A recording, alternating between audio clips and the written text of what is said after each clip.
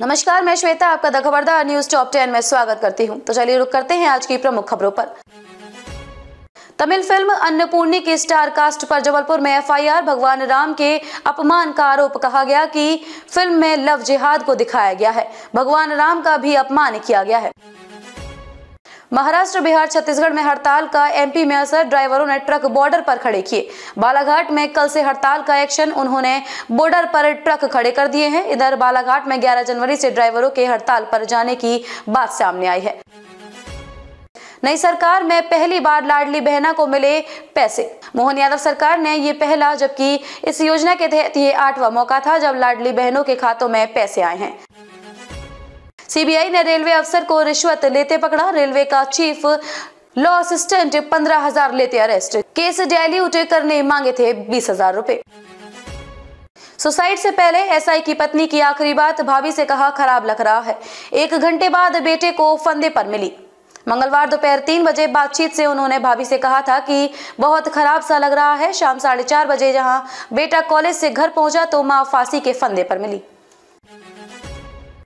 Lok Sabha speaker बोले, विधानसभा बैठकों की संख्या बढ़ाएँ भास्कर पड़ताल। एमपी में 20 साल में आई सड़सठ प्रतिशत कमी। 2018 से 2023 में सिर्फ़ बानवे बैठक। भोपाल में विधायकों के प्रबोधन कार्यक्रम में उन्होंने कहा कि बैठकों की कम संख्या लोकतंत्र के लिए अच्छी परंपरा नहीं है।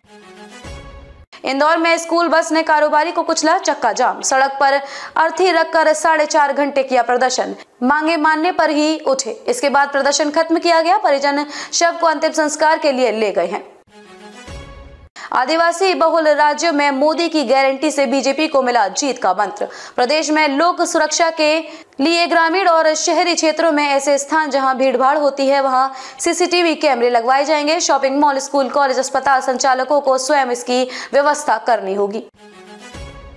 गांधीनगर स्थित मेट्रो डिपो परिसर में मेट्रो कोच का तीसरा सेट पहुँचा और वडोदरा के सांगली से मेट्रो के ये तीन कोच अलग अलग ट्रॉलों पर सवार होकर तीन दिन में इंदौर पहुँचे। कोई अध्यक्ष नहीं चाहता निलंबन, पर मर्यादा ज़रूरी। सांसदों के निष्कासन पर बोले लोकसभा अध्यक्ष ओम बिरला। खबरों में अब तक के लिए बस इतना ही। फिर होगी आपसे मुलाकात ऐसी ही बड़ी खबरों के साथ। तब तक के लिए नमस्कार और देखते रहिए द खबरदार न्यूज़।